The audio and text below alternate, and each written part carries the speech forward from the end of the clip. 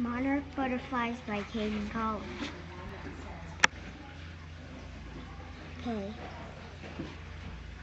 Monarch butterflies have four wings, antennas, proboscis, and six legs and a body. Monarch butterfly life cycle. They start off by an egg, then they go to a caterpillar, then they form a chrysalis, then they turn into a butterfly. Monarch butterflies migrate from Indiana to Mexico, then it takes three generations to get back to Indiana.